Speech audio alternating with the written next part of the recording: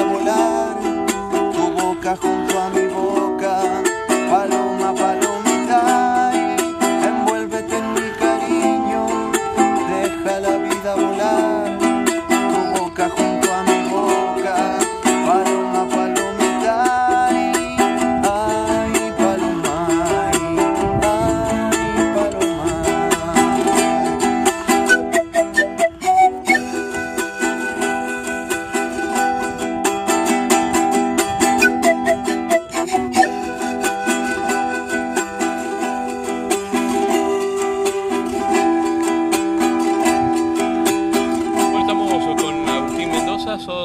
Perdón, Agustín Martín, y sos de Mendoza. Ahí, está. Agustín Martín y de Mendoza. ¿Cómo anda Agustín? Todo bien, todo bien acá, eh, pasando por Orán, ¿no? Y bueno, eh, encantado que, de poder estar acá en tu programa, que me puedas brindar este espacio para conocerlos un poco, bueno, y comentarles más o menos lo que ando haciendo. Mendocino, en la ciudad de Orán, sos eh, maestro. Contanos un poco quién sos. yo soy músico docente, Em, vengo viajando desde Mendoza hace como seis meses, atravesando distintas provincias del país y también atravesé una frontera hacia el lado de Bolivia, estuve en Tarija.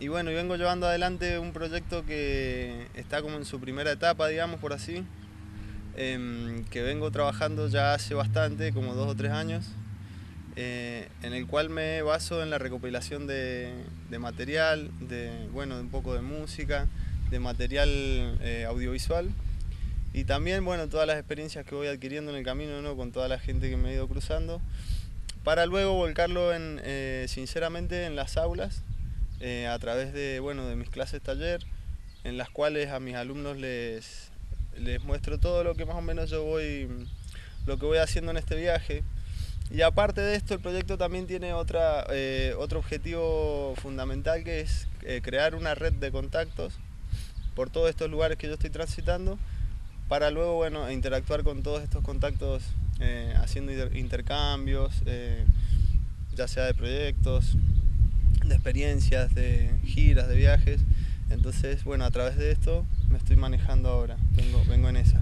A ver, eh, em, ¿qué, se te dio por, por, largarte a la calle, largarte a la ruta, largarte a caminar el país con, con, el ronroco y y captar todas estas anécdotas ¿no? y todas estas historias. Eh, bueno, una inquietud que vengo teniendo hace bastante tiempo ya, eh, cuando empecé a tocar música, eh, primero tocando en bandas, pude tener la posibilidad de hacer unas pequeñas giras y me, interesó mucho lo de la gira porque a través de la gira bueno, iba adquiriendo muchos conocimientos. ¿no? Aparte, todo lo que es lo paisajístico me atrapa mucho también, entonces bueno, a través de eso me iba nutriendo. Y ahí así fue como decidí, dejé las bandas en las que estaba y tuve que alejarme un poco de mis proyectos y decidirme a caminar, como dijiste, bueno, y tampoco con rumbo fijo, porque por ahí han sido, han sido una serie de viajes, no, este no es el primero, ha sido una serie de viajes en las cuales he podido atravesar, bueno, distintos lugares, etapas, experiencias, y esto, bueno, me ha ido dando mi conocimiento, me ha ido dando un poco de, fuerza también, de riqueza como para seguir adelante. Ahora, em, hace seis meses que, saliste de, tu ciudad, ¿no? Em, dejaste familia, dejaste amigos, dejaste pareja, dejaste... ¿Cómo, cómo, cómo, cómo encaraste la ruta? ¿Venís solo o no venís solo? No, no, no, vengo en compañía de Romina, que es mi compañera. Em, ¿Es también de allá? Sí, ella es de allá. Eh, también he viajado con otras personas, tengo otros amigos que están en Tucumán. No es la primera vez que viajo, como te comentaba, a veces me ha tocado salir solo. Y bueno, eh, esa es la, por ahí el, riesgo que, tengo que asumir, ¿no? Eh, dejar algunas cosas como para aventurarme en otras a veces no saben las cosas bien, uno ya sabe que eh, vivir así rigoreado tampoco, bueno, es lo más seguro que hay, ¿no? Entonces tengo que estar todos los días firme ahí, el día a día, tratando de, bueno, de comunicarme bien con la gente, qué sé yo, e interactuar con todas las personas que me voy cruzando. Y así he ido conociendo mucha la gente que me está tirando una mano el día a día, ¿no? el día a día es, importantísimo. Y, hablando del día a día, ¿cómo, ¿cómo lo vivís al día a día? Digamos, este, sabemos que de la música lo dice una canción, no se come, no se, eh, eh, sobre todo la parte de no se come, no se vive, no, porque hoy en día se puede vivir. Pero, mm, eh, ¿cómo, hacemos con la comida? ¿Cómo hacemos con el mango? ¿Viajás caminando? ¿Cómo te movés en, colectivo? Sí, es difícil.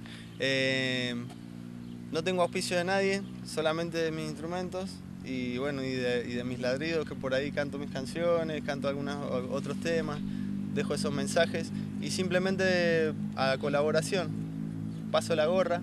O sea que trabajás en la calle, digamos. Trabajo mucho en la calle, sí. Eh, me gusta tocar en los colectivos, a donde la gente no se espera a veces que suba uno a cantar cierta letra o tocar cierta música. Me gusta mucho. Entonces a través de eso, bueno, me voy costeando el viaje. Eh, tampoco lo hago digamos, no, no soy de gastar muchísimo dinero, así que no. Lo del, consumo también es otra de las cosas importantes eh, en este viaje, tratar de, mm, digamos, de cambiar mi manera de vivir un poco a través de, esto, ¿no? Tener que hacer de otra manera las cosas, eh, no pensar en consumir ciertas cuestiones, no sé, no estar en, en esos parámetros, ¿no? Que a veces la sociedad está impuesto en la sociedad, entonces es necesario que uno tenga un trabajo fijo, que tenga una obra social, que vos tengas todos los meses tu plata segura, que todos los días puedas ir a trabajar a tal o cual lugar. Entonces de esta manera he tenido que cambiar esos hábitos. Y es difícil patear el tablero, ¿eh? Sí, es muy difícil y a veces es hasta frustrante diría, pero también es muy, eh, a uno lo alegra mucho después de, de que va pasando el tiempo, bueno, conseguir ciertas cosas, como conseguir amistades, lugares, experiencias y todo este tipo de cosas que te va dando el viaje, ¿viste? A ver, y hablando un poco de las experiencias, eh, como músico, como artista, eh, este viaje que has emprendido eh, en estos seis meses y que no sabes dónde va a terminar ni cuándo. Claro. ¿Qué te ha ido llevando de las distintas eh, localidades, regiones, municipios que, fuiste conociendo? Eh, fue algo muy gracioso cuando salí en la primera instancia, sí. Eh, yo venía de un viaje largo que había hecho el año pasado, que fui hasta Ecuador. atravesé Bolivia, Perú y Ecuador casi, y luego retorné a Mendoza. y, casi automáticamente a los dos meses ya empezó diciembre, casi fin de año, y decidimos con un amigo volver a salir de viaje. Y la idea era ir hacia Perú, al lago Titicaca, a una fiesta importantísima que hay ahí, que es la fiesta de la Candelaria, a compartir toda esa movida que iba a haber ahí. Eh, como salimos nosotros por una ruta algo rara que no, que no pensamos, fuimos hacia, hacia San Juan y de San Juan desembocamos en La Rioja. Y ahí en La Rioja nos atrapó la fiesta de la Chaya. Y ya a partir de ese momento cambió todo y las experiencias empezaron a ser diferentes. Bueno, y la, fiesta de la chaya, por ejemplo, fue una de las cosas que, me marcó bastante en estos seis meses. Como que pude ver bien de cerca lo que es la, cultura popular, eh, sobre todo de, La Rioja. Ahí empieza la región del norte del país, en La Rioja. Y nosotros tenemos otras costumbres por ahí en Cuyo. Entonces empecé a ver ya otros aromas, otras músicas, otros climas, otra tonada de hablar y bueno, y todo eso ya empezó a nutrirnos bastante. Y estuvimos todo el mes de febrero eso fue en La Rioja. Después, ¿qué más te podría decir? Cafayate. también. Un lugar importantísimo también a donde pudimos ya parar eh, unos dos o tres meses más adelante después de esta fiesta. Llegamos casi sin querer a Cafayate. No teníamos pensado quedarnos porque nos pareció un lugar eh, que no, no, nos iba a dar ninguna posibilidad debido a que es muy turístico. entonces...